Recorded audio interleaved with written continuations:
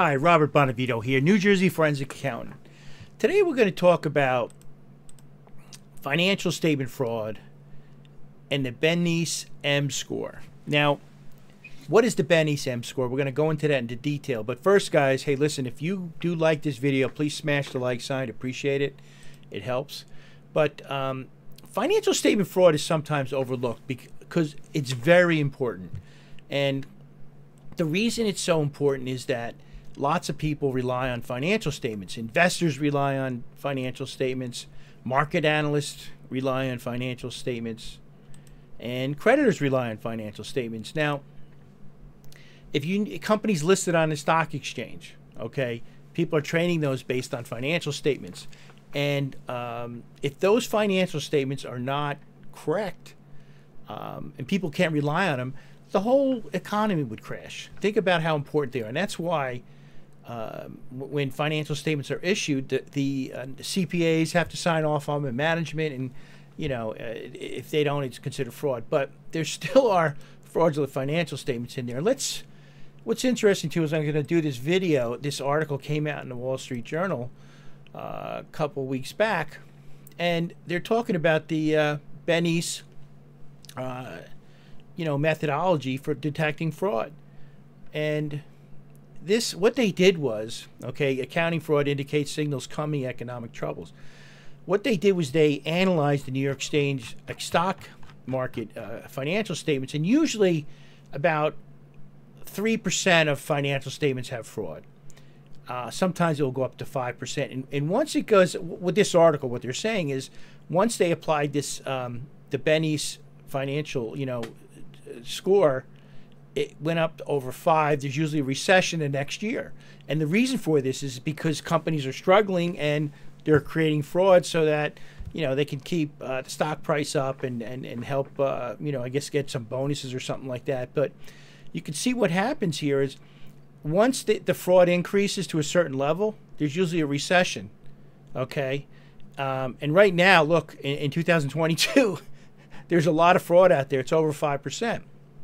So this is a pretty interesting uh, calculation, which we're going to go into. Now, if you look at um, uh, people who rely on financial statements, okay, um, it's really uh, it's it's it's a lot of people, but we're always being retained to look at financial statements. Uh, banks are retaining us. Uh, investors are retaining us. People who are doing mergers are retaining us. And the best way to tell if those financial statements are accurate is to do a ratio analysis. We love to do ratio analysis now.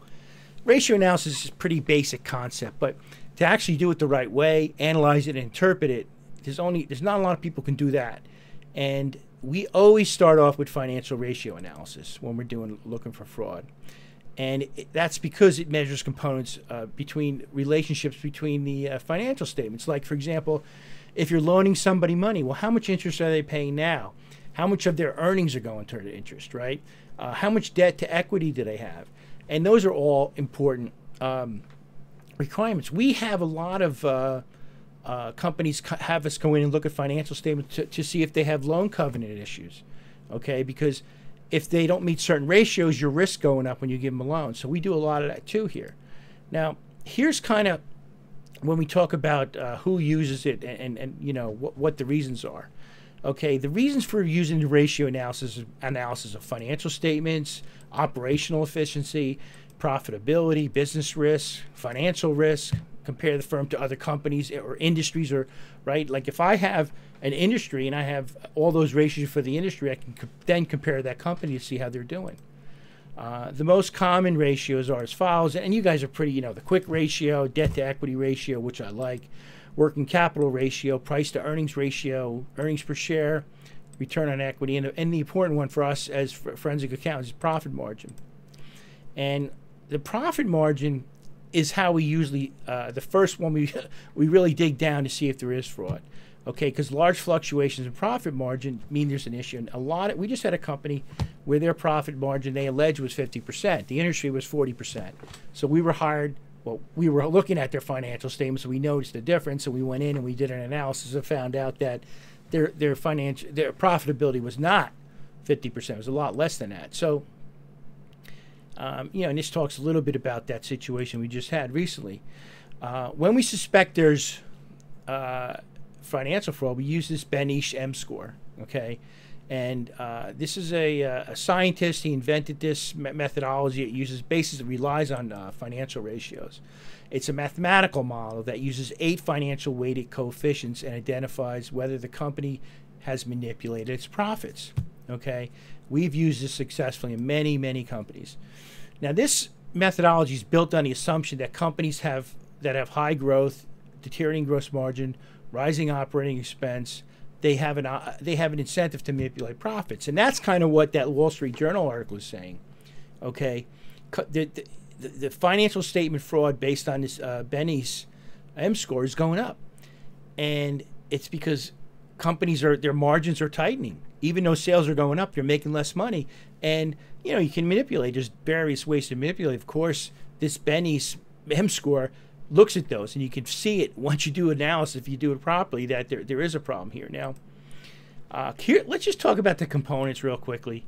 You know, uh, there's eight of them. Days, you know, day sales and receivables, gross margin, asset quality index, uh, current year's dividends by divided by prior year sales, depreciation, SG&A, leverage, and uh, accruals to total assets. Now, when you have these eight variables and you add them together, okay and here's the coefficients and you know here's you know we have the, the letters here you can plug it in once you get these and you'll get a number okay now when you plug that number in if it's greater than negative 2.22 that means there's a probability of profit mar- uh, manipulation now we just had a company last week where they scored negative 1.6 now negative 1.6 is greater than 2.2 negative 2.2 so we looked in there but there was some accounting errors, but there was no. We didn't think there was fraud. Now we had one a couple months ago where they scored 2.1, and that was fraud. So guys, listen. I just want you to be aware that financial statement of fraud exists. Uh, there's a couple methodologies that you can use. Ratio analysis, guy with the Beneish, combined with the Beneish M score.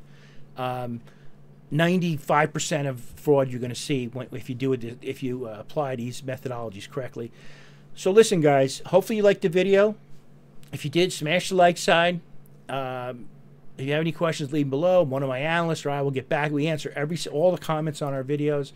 Thanks a lot, guys. Bye.